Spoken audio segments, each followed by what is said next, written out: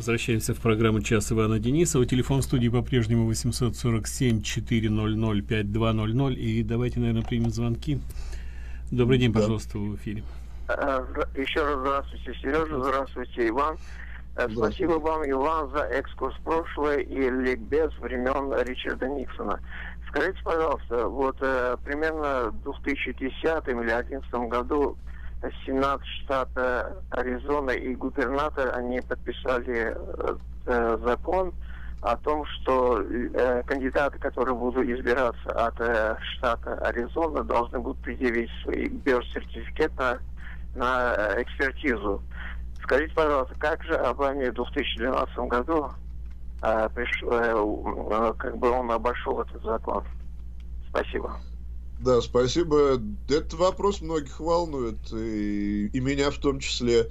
Знаете, есть даже шутка такая, что Трампу надо назначить Обаму в Верховный, выдвинуть кандидатуру Обамы в Верховный суд, может, тогда мы узнаем, где он все-таки родился.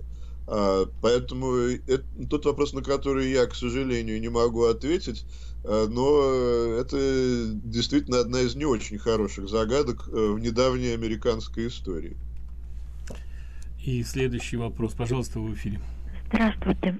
А, уважаемый Иван, а, вы сказали, что Тергейт будет отложен на позже, но у меня все-таки все время возникает вопрос, как получилось так, что соратники а, Никсона по партии отказались его поддерживать на основании каких-то непонятных обвинений, которые, ну, как бы абсолютно недоказательные, и, э, ну, в принципе, он подал в отставку из-за того, что э, ему заявили, что его поддерживать не будут и как бы утвердят импичмент.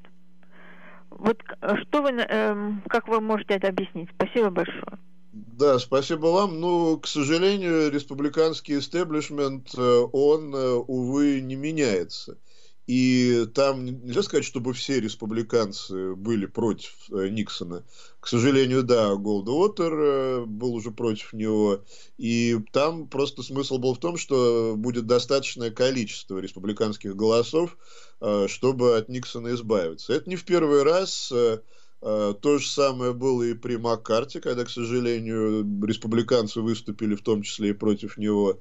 А, и то же самое мы порой с вами наблюдаем и сейчас, когда республиканцы э, мешают президенту, скажем, вот я уже про это говорил, и напомню еще раз, резолюция по помощи Саудовской Аравии в Йемене, она по большому счету не должна вообще появляться, потому что это прерогатива Трампа разбираться с внешней политикой в данном вопросе.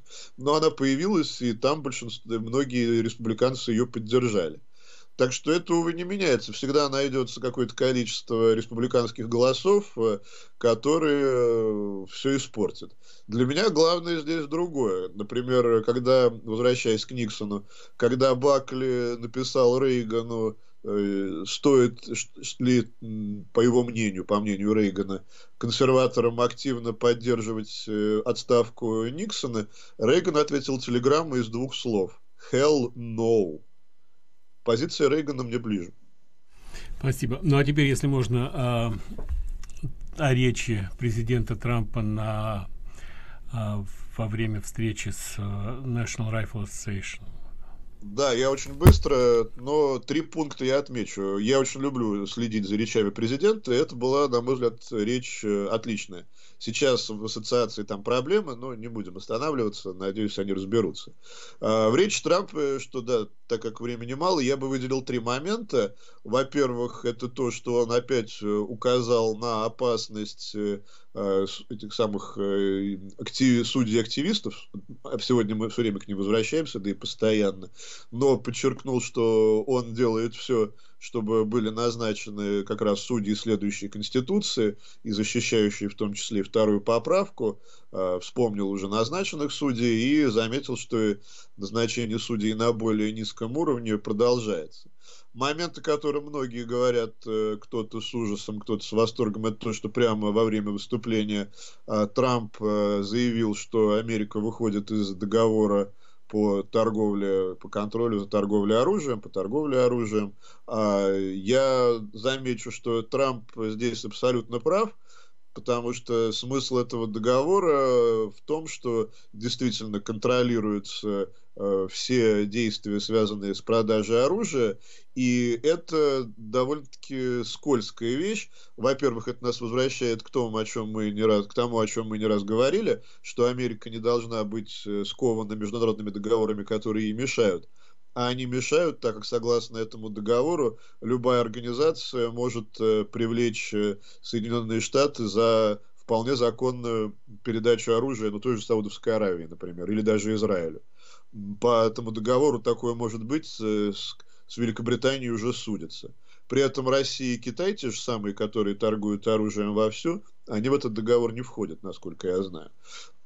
А, к тому же Э, внутри штатов этот договор может использоваться э, противниками второй поправки.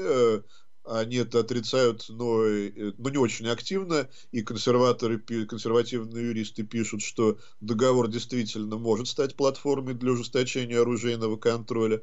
Ну и потом не забываем, что вообще-то договор был подписан таким э, безрадостным, к счастью, персонажем из прошлого, как Джон Керри, но ратифицирован-то он не был.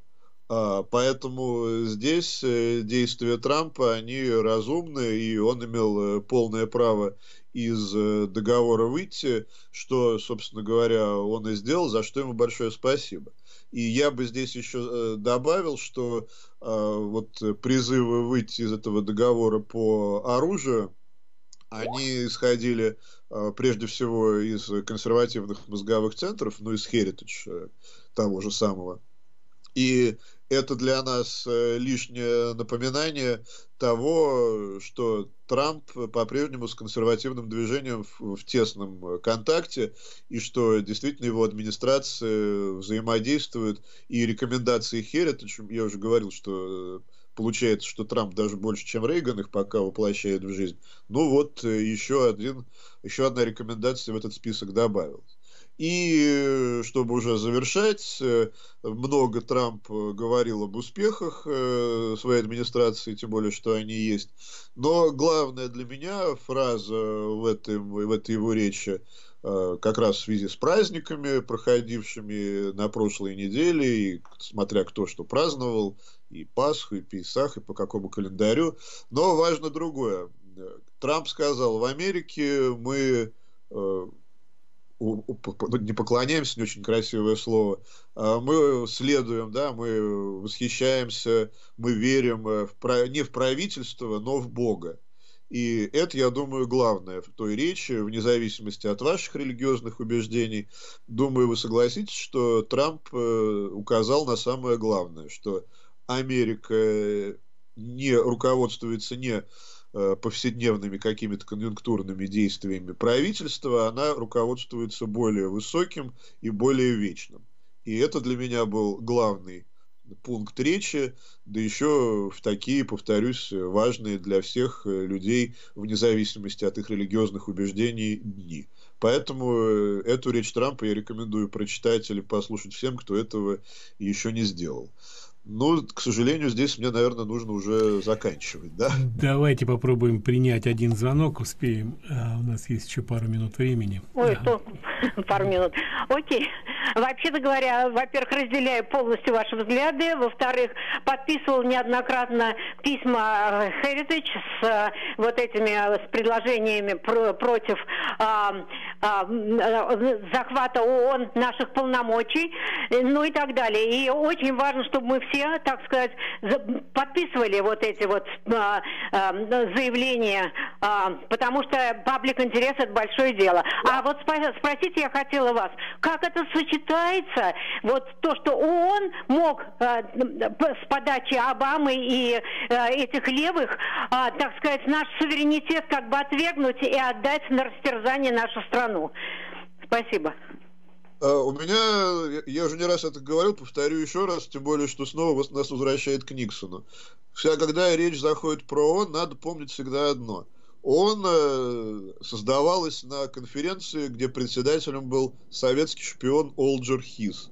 Это доказано, то, что он был шпион. Ничего хорошего такая организация дать не могла, э, не может и не даст. Так было и так будет.